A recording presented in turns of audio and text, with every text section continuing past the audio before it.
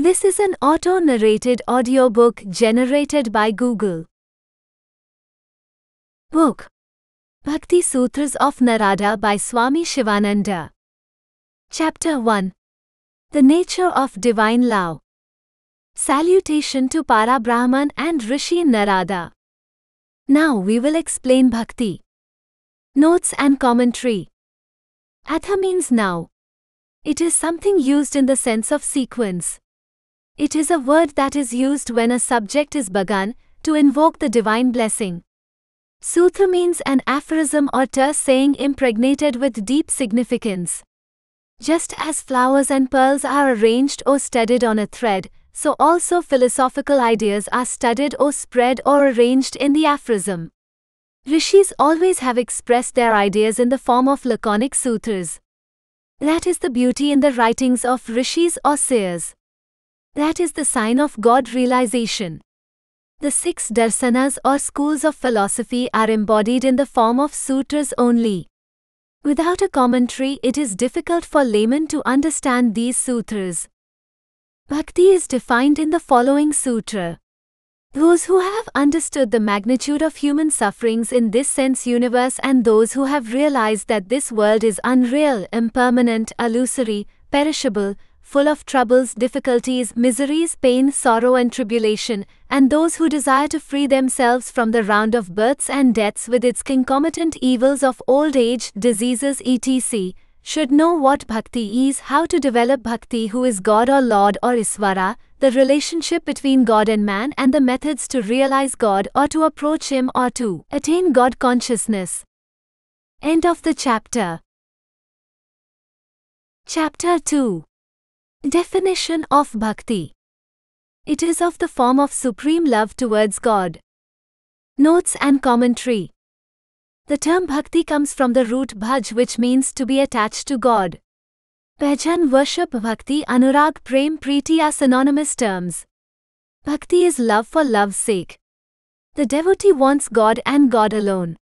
There is no selfish expectation here. There is no fear also. Therefore it is called Parama Prema Rupa. Is the son afraid of his father, who is a sessions judge? Is the wife afraid of her husband? So also a devotee entertains not the least fear of God. The fear of retribution vanishes in him. He feels, believes, conceives, and imagines that his Ishtam is an ocean of love or prem. And it is of the nature of nectar. Notes and commentary God immortality Amritam, peace Santi, absolute infinite Ananda intelligence consciousness Chit, eternity bliss Ananda nirvana freedom mukti perfection siddhi are synonymous terms. Devotion gives immortality.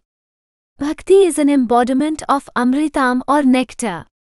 Nitya Sukha eternal bliss, immortality Parama Santi supreme peace, Nitya Tripti eternal satisfaction, Akhanda Sukha, unbroken joy can be had only in God.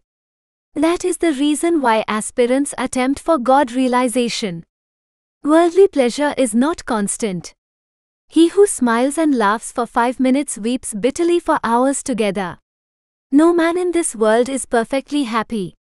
A multimillionaire is full of cares, worries, anxieties, and fear. He is afraid of enemies. He is guarded by sepoys. He has to take injections for getting sleep as he is always worried. He is worse than a prisoner.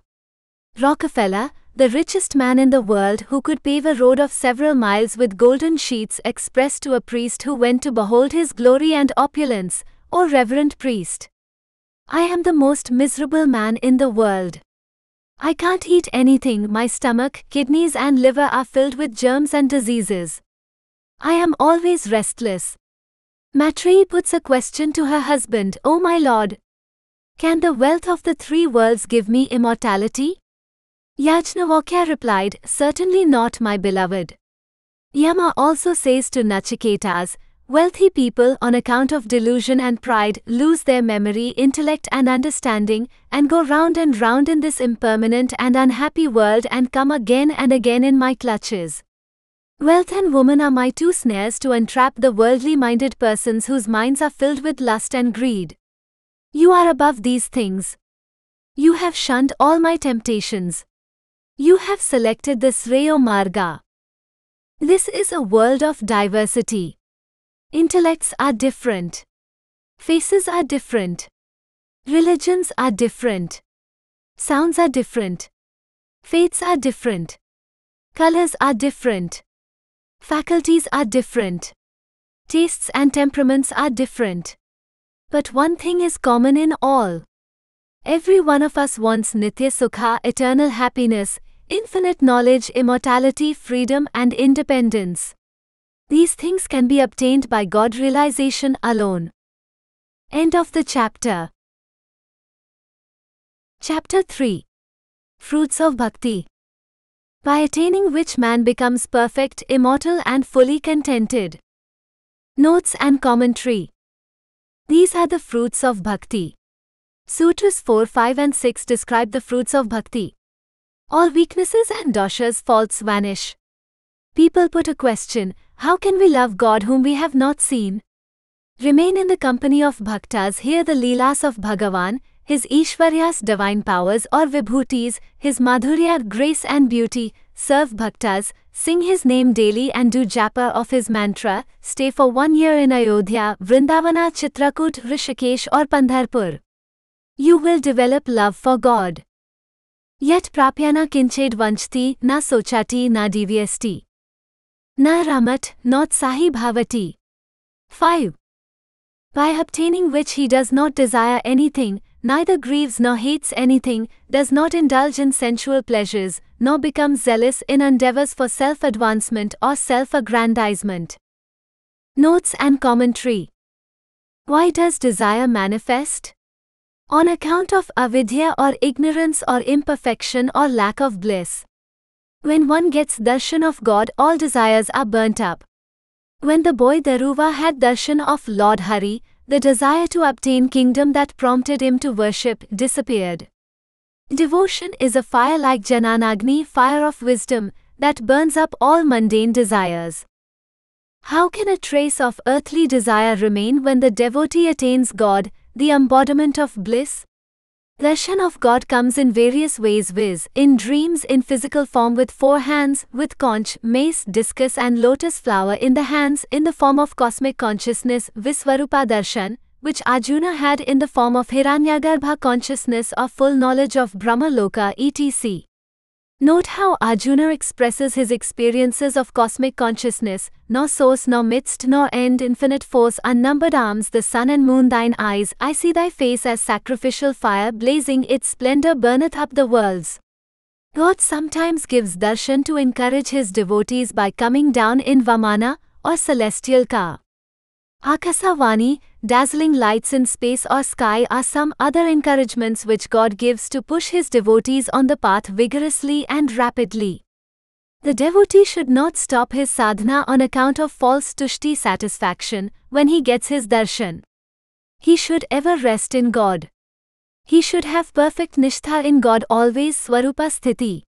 He should not leave off his practices till he merges himself in the Lord Mahabhava or Tanmay state, Parama Prem. The devotee who realizes God is freed from grief also. Can darkness remain in the presence of light? How can sorrow manifest when one is immersed in the ocean of bliss and prem? Grief is a mental creation. It manifests when the mind is attached to body and illusory connections.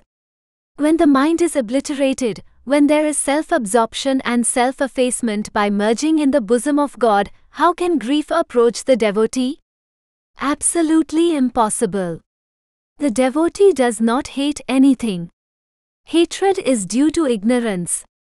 How can the devotee hate anybody when he sees Lord Hari in everything? He feels that the world is manifestation of the Lord and all movements and actions are his leelas. He has no ghrina or dislike for fecal matter, dirt, chandala, scavenger, cobbler, beggar, prostitute, thief, etc. He says, I see everywhere my sweet Lord.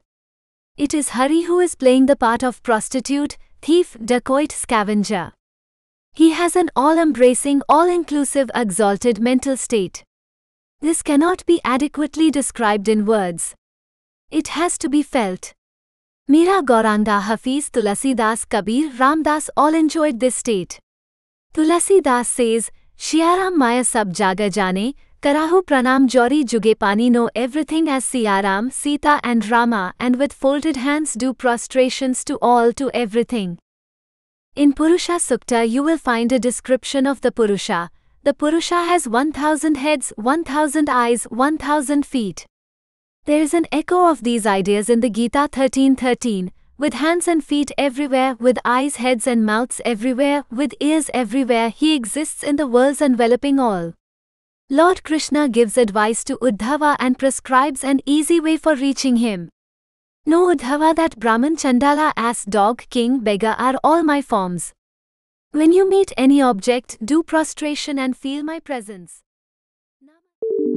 We hope you enjoyed this preview. To continue listening to this audiobook on Google Play Books, use the link in the video description.